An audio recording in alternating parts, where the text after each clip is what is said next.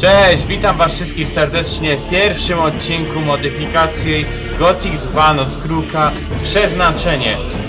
Modyfikacja powstała na szkielecie Global Moda autorstwa naszych braci z Rosji, aczkolwiek polski mod Przeznaczenie jest w całości stworzony już przez Polaków, oparty właśnie tylko o szkielet Polaków, stworzony przez drużynę Destiny Team, której logo widzimy właśnie z dołu pod dowództwem Memorusia i paru innych osób. Serdecznie pozdrawiam. Również ja brałem lekkie, lekki udział w tworzeniu tej modyfikacji.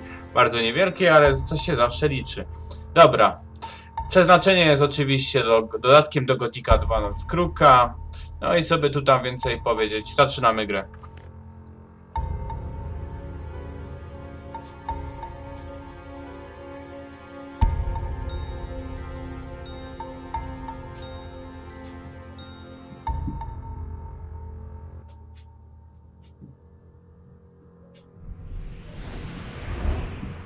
Już widzimy sporą zmianę w stosunku do Globala Moda. W sensie twórcy przeznaczenia przywrócili na szczęście oryginalne intro, a nie to żałosne, które zrobili w Global Jeden Modzie. człowiek odmienił losy wielu setek, ale zapłacił za to wysoką cenę.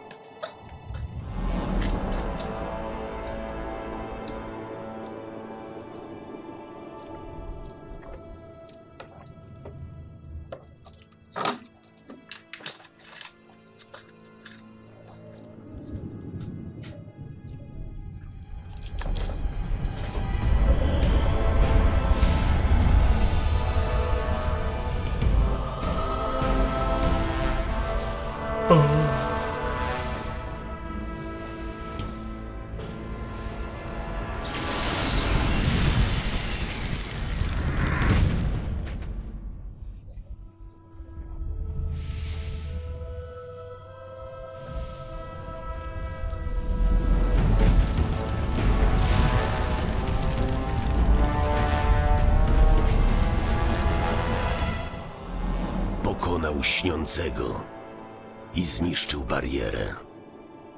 Ale gdy innym więźniom udało się uciec, on pozostał pogrzebany pod ziemią.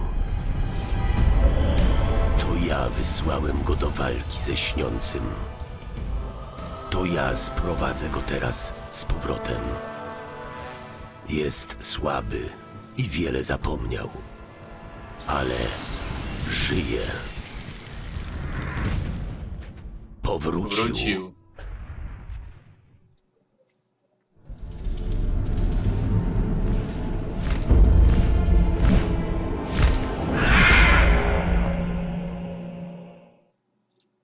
No i brakuje mi tutaj log polskiego logo moda po prostu. Logo polskiego moda. O! Jesteś już. A ja straciłem nadzieję, że się jeszcze kiedyś spotkamy. Czuję się. Czuję się, jakbym kilka tygodni leżał pod stertą głazów.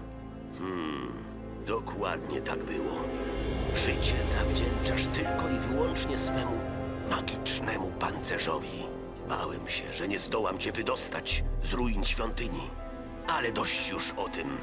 Musimy zająć się nowym niebezpieczeństwem grożącym tej okolicy. Gniew Beliara wzmógł się po upadku bariery i pokonaniu śniącego. Zapisano, że do tego świata przyzwany zostanie potężny artefakt. Bóg ciemności wysyła swe sługi z misją. Ta misja jest już rozpoczęta. Sługi Beliara bezczeszczą prastare chramy. Budzą się strażnicy tych chramów, a ich gniew wstrząśnie ziemią.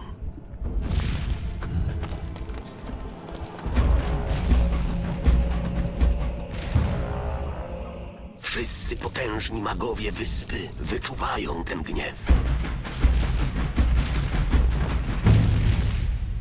Niektórzy z nich są gotowi stawić czoło temu nowemu zagrożeniu.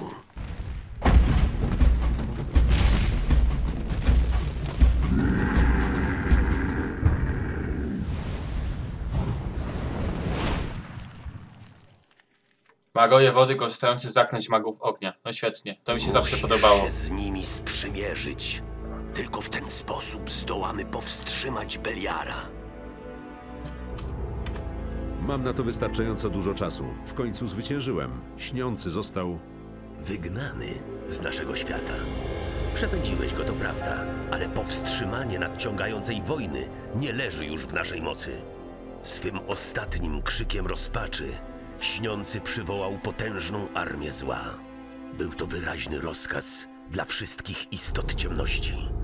Potężne słowo magii, któremu nie mogły odmówić.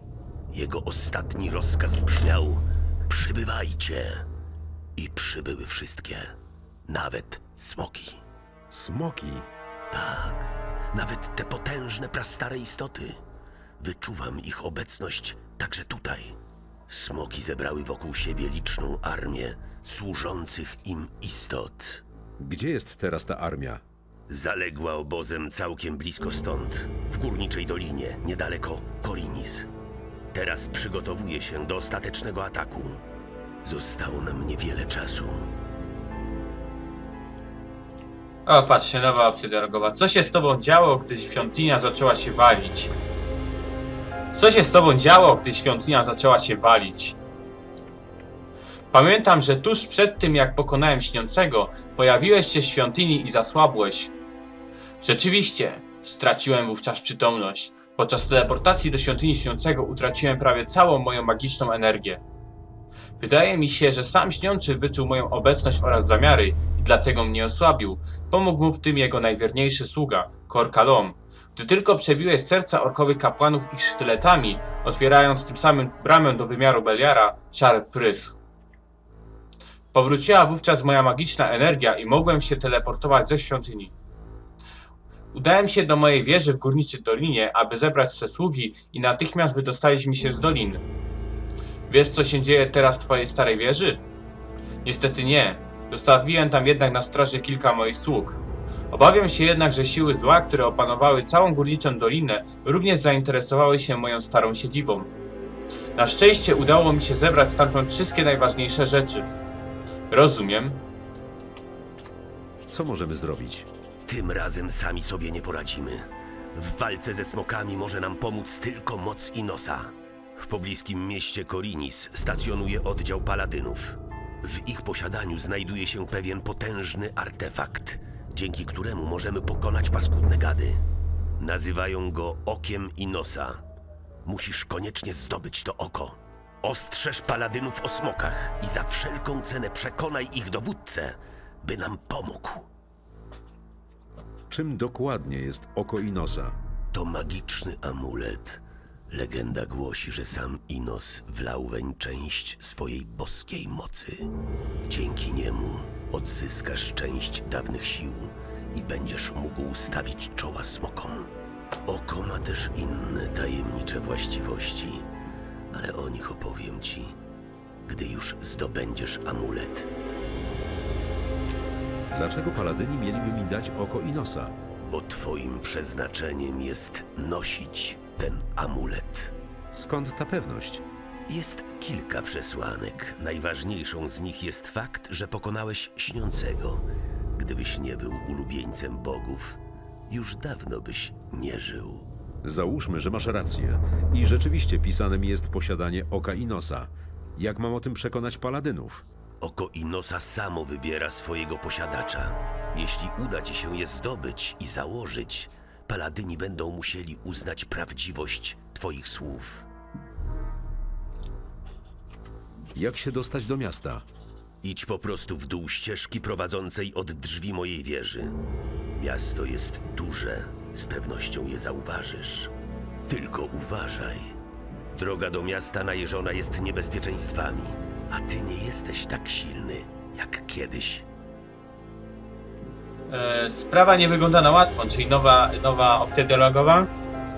Sprawa nie wygląda na łatwą, muszę dojść do miasta, po trzech tygodniach pod zwołami kamieni jestem zupełnie osłabiony. Nie miałem nawet czasu się porządnie wyspać. Teraz będziesz się użalał nad swoim losem? Tak, bo mam już dosyć tego wszystkiego.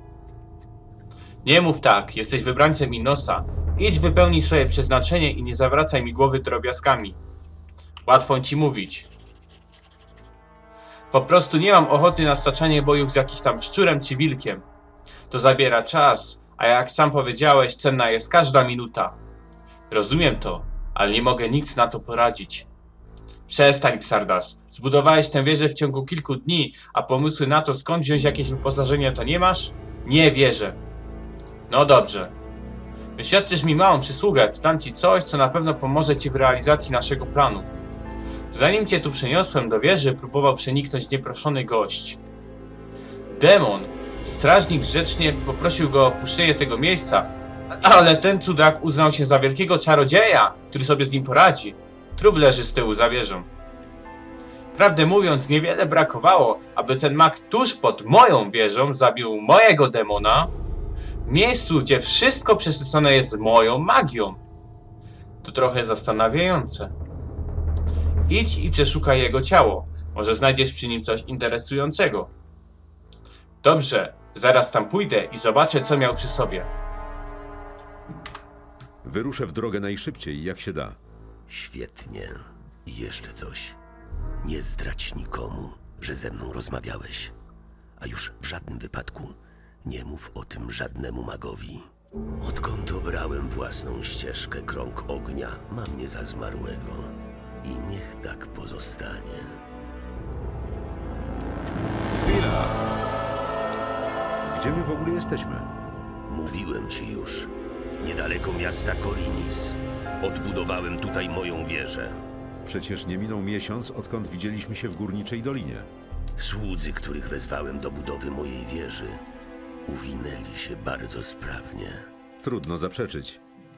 E, dobra, czyli to była taka nielogiczność, skoro bezimienny wcześniej już sam powiedział, że Sardas wybudował tą wieżę w ciągu kilku dni, a ten dopiero mu to o tym powiedział. No już na starcie taki dość mm, spory minus, ale dobra. Returningowi też się takie rzeczy zdarzają, więc do Gdzie wybaczenia. mogę znaleźć lepsze wyposażenie? Jeśli chcesz kupić broń i pancerz, musisz pewnie udać się do Korinis. Ale w dolinie znajdziesz lecznicze zioła, które przywrócą ci siły utracone w walce. Wybierz się też nad jezioro, tuż przed moją wieżą. Znajdziesz tam ukryte przejście do doliny. Dlaczego krąg ognia nie może się o tobie dowiedzieć?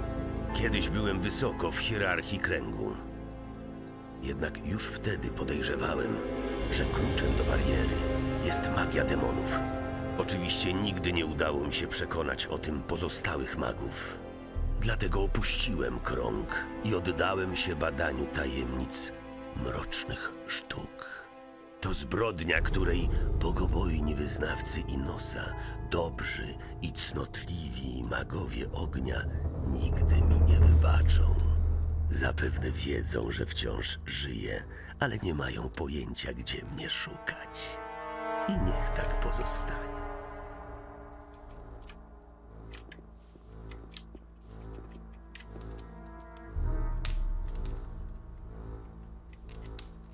Ej, teraz się tak patrzę, zmienili tutaj nazwę z regał na książki, czy tam jak ta szurna półka na książki, co w sumie ma większą, większą e, logikę, logiczność, nie wiem jakby to powiedzieć, więc... Dobra, wasza. Nie wiem, czy nie powinienem wam czasem czytać tych e, książek, ale dobra. No patrzcie, Xardas też wykonuje inne czynności, to znaczy, że rozbudowano rutyny postacią, przynajmniej Xardasowi póki co. No i dodano tutaj, jak widzicie, sługę Xardasa. W sensie jak szkieleta, który wykonuje pracę. I to był mój pomysł, ale nie wiem czy... No tak, tak pisałem wtedy i powiedzieli, że to się doda w sumie, więc... Można powiedzieć, że ten szkielet jest tutaj dzięki mnie, fajnie. Otwieramy sobie tutaj pomieszczenie z kratą. Zapytamy Xardasa w ogóle o tą kamienną tablicę. Co mi możesz powiedzieć o tej kamiennej tablicy? Usunięto expa. Sądziłem, że to jakiś magiczny artefakt. Okazało się jednak, że jej znaczenie jest znacznie mniejsze. Nie udało mi się do końca rozszyfrować wyrytych na niej znaków, ale wydają się one przekazywać historię prastarej kultury. Weź ją, jeśli chcesz. Do niczego mi się nie przyda. A, jednak było doświadczenie. Dobra, sorry.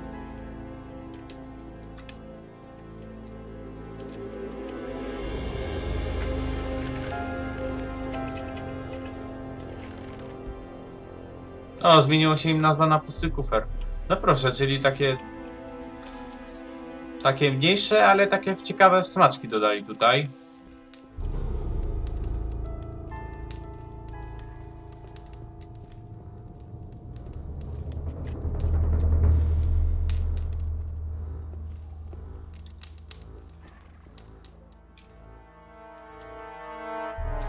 Klucz. Wydaje wam się, że te regały też wyglądają trochę inaczej.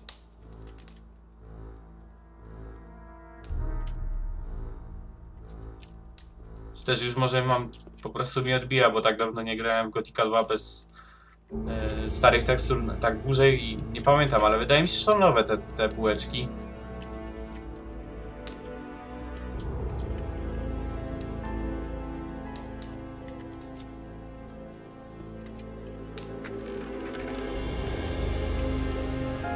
Zmieniono model sztyletowi. Albo model sztyletu, jak to woli. To wygląda... A... Się tu obracało kamerą, pamiętam, to już chyba nie dało się. Dobra, no to... Nieważne, ale tekstura wydaje mi się, że jest trochę... Nie wiem, nieważne w sumie. Tutaj sobie zejdziemy. Standardzik.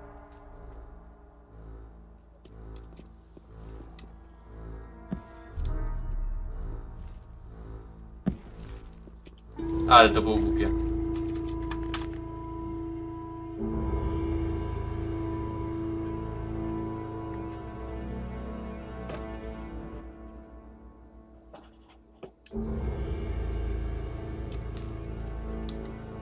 O, tekstury migoczą, nie wiem czy ktoś zauważył. To już jest akurat błąd twórców.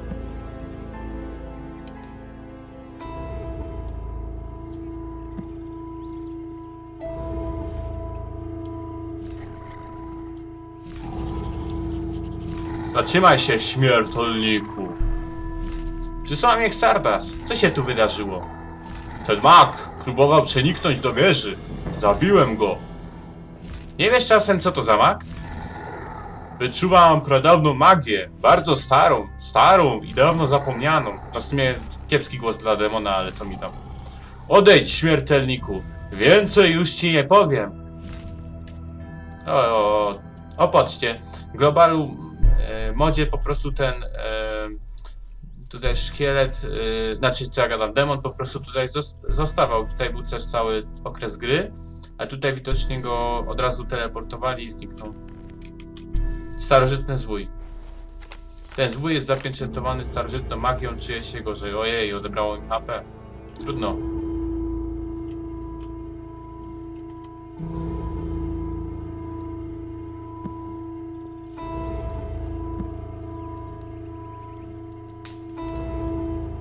A, kolejny sługa Sardasa, fajnie.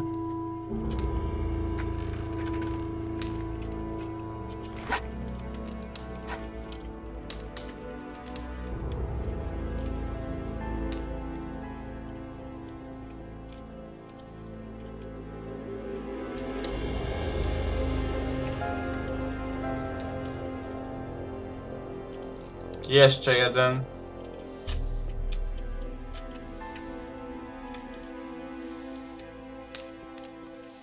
To w sumie ty na górze, tak jak w returningu 2.0 mógł przygotowywać jedzenie, a ty na przykład mógłby chodzić po całej wieży i zamiatać. To by było dopiero fajne.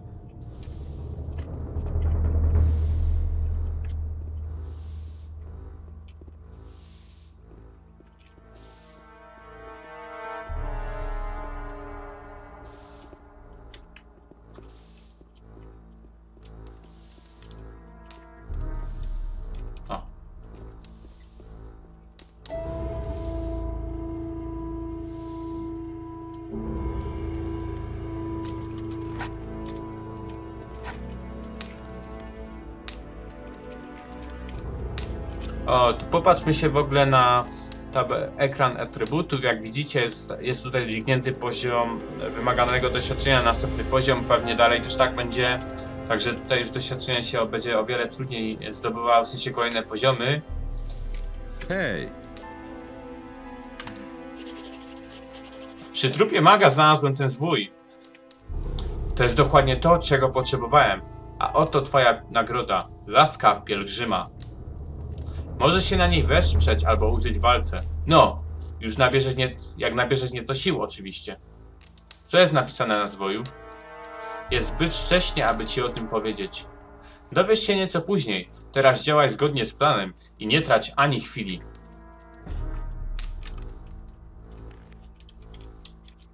No proszę, tego się nie spodziewałem, bo wiecie co było w Global Modzie? spodnie. Stare spodnie Xardasa dokładnie rzecz biorąc, bo tak to Xardas ja określił, że dam e, bezimiennemu sta swoje stare spodnie, w które się i tak nie mieści. I to była nagroda. Ta laska powiedziała, że ma 100 razy lepszy pomysł i od razu gratuluję przeznaczeniu i, jego, i ekipie, która tworzyła tę modyfikację, że to zmienili. Naprawdę bardzo dobrze. Ale te migoczące tekstury to jest masakra, naprawdę. Chyba, że ja coś mam źle, ale raczej wątpię, czy jak to można było tak zostawić. O, tutaj stoi jakiś koleś. Tutaj, pamiętam, w Global Modzie stał Narsus. Zobaczymy, czy to jest on. To jest Imperanon. Być albo nie być? Oto jest pytanie. Stawiam je ja, Imperanon. Trochę długo trwało, zanim Xardas postawił cię na nogi. Znasz Xardasa? Nic nie wspominał o innych nekromantach w okolicy. Po pierwsze, nie jestem nekromantą, a po drugie, nie można nie znać Xardasa, jeśli się reprezentuje mroczny zakon. Xardas nie wspominał mi także o mrocznym zakonie. Nie wspominał ci również o wielu innych rzeczach i tajemnicach. Taki już jest poczciwy Xardas. Bohater kroczący ścieżką przeznaczenia, wytyczoną przez Xardasa, zwycięzca arcydemona zła, zwanego śniącym. Ten, który zniszczył magiczną barierę, teraz słaby, z zatartymi wspomnieniami, na początku nowej drogi. Wiesz, sądziłem, że Xardas bardziej się postara i zobaczy tu bohatera, a nie kogoś takiego. Gdzie twój pancerz z magicznej rudy? Gdzie Uriziel? Gdzie twoja magiczna potęga? Nie bardzo rozumiem, czego właściwie ode mnie chcesz? To źle postawione pytanie. Powinieneś raczej zapytać, co mogę ci dać? Potęgę, sławę, złoto. Ileż to razy słyszałem podobne obietnice. To wszystko osiągniesz sam, jeśli oczywiście wcześniej nie zginiesz. Myślałeś czasem nad tym, czym jest dobro, a czym zło, czym jest jasność, a czym ciemność? Umiesz odróżnić odcienie czerni, rozumiesz sens istnienia bogów. Zadajesz trudne pytania, tylko czy faktycznie powinienem szukać na nie odpowiedzi? To już zależy tylko od ciebie. Istnieje jednak tylko prawda i jedna tylko droga. Daję ci szansę pójścia taką drogą i odnalezienie takiej prawdy, jakiej nie będzie ci dane poznać, gdy zaufasz komuś innemu. Rozumiem, że proponujesz mi, abym przyłączył się do tego mrocznego zakonu. Za wcześnie. Za wcześnie, właśnie. Ilu tu już ulubieńców bogów nie sprostało ciężarowi wiedzy i mocy, jaką daje zakon. Czuję jednak, że ty jesteś inny, ale decyzja nie zależy tylko ode mnie.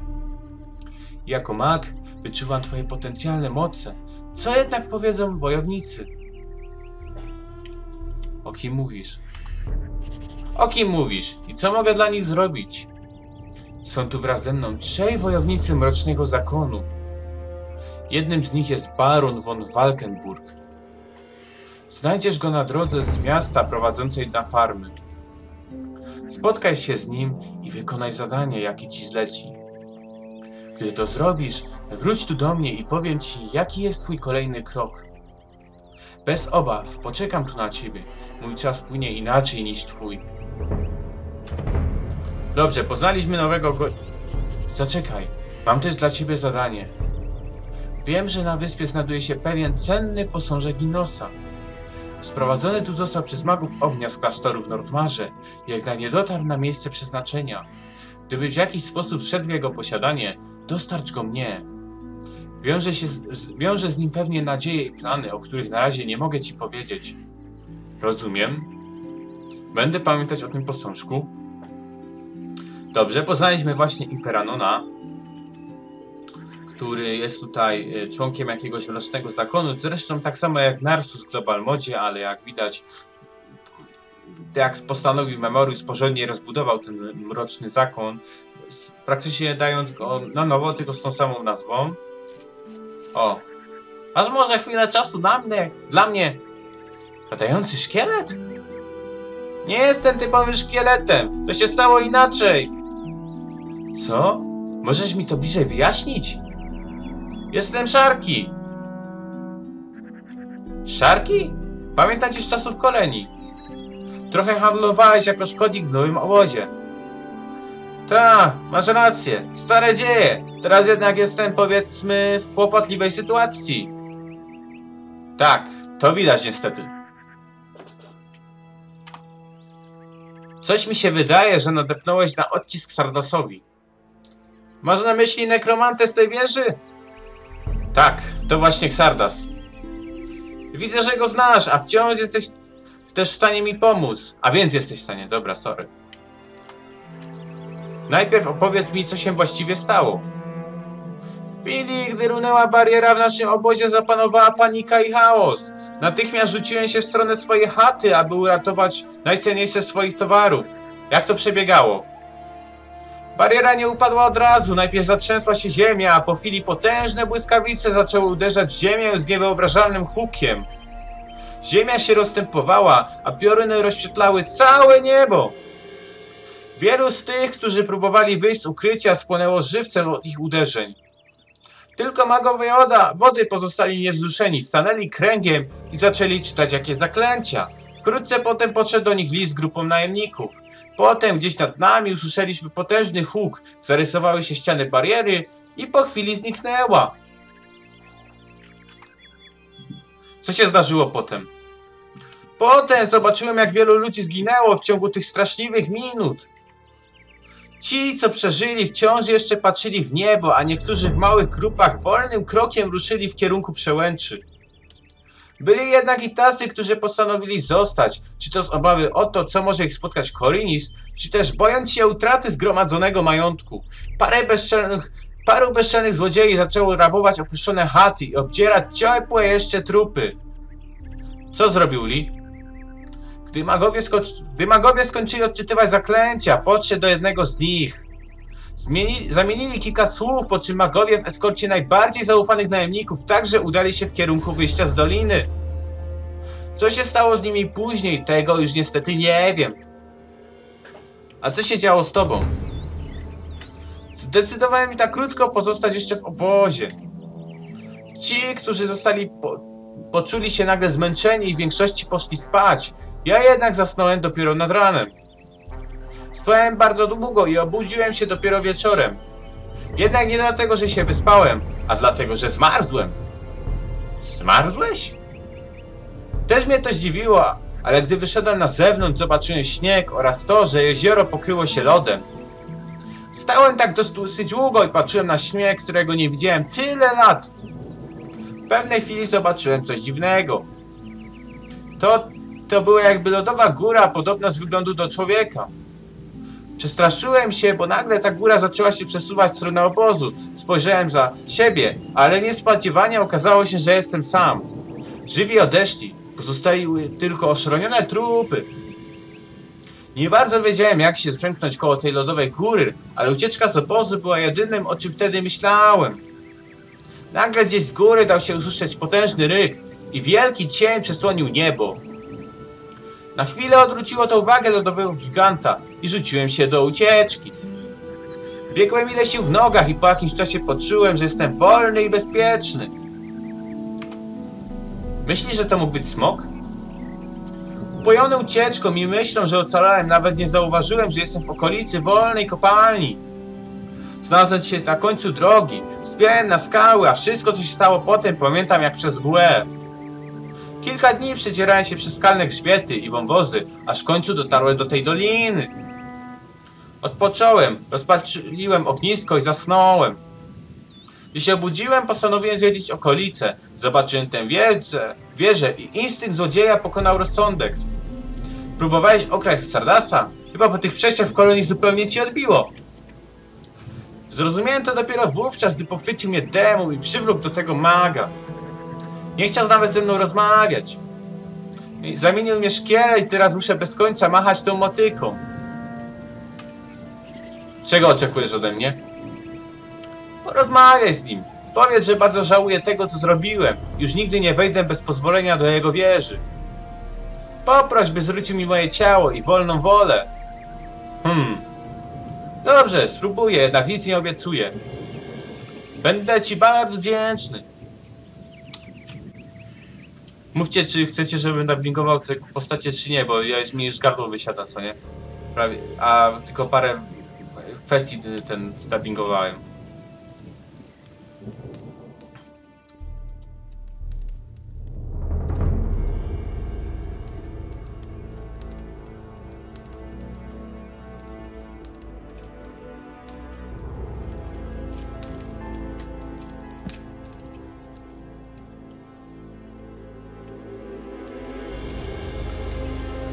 No a teraz będzie trzeba szukać Sardasa po całej wieży, gdzie on znowu mógł poleść.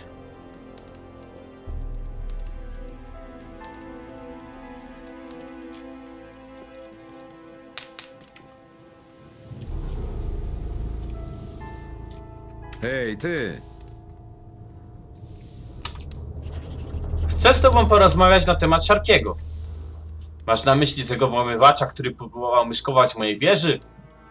Tak, on prosi mnie, żeby ci przekazać, że żałuje i... Mam gdzieś jego przeprosiny. Ukradł mi amulet. Zwrócę mu ciało i wolność dopiero wtedy, gdy ten amulet do mnie powróci. Czy to jest jasne? Dobrze, to dowiedzieliśmy się od Stardasta, że Szarki mu coś ukradł. Na tym sobie, moi drodzy, zakończymy odcinek. Liczę na to, że się Wam podobało. Trzymajcie się. Do zobaczenia. Na razie. Cześć.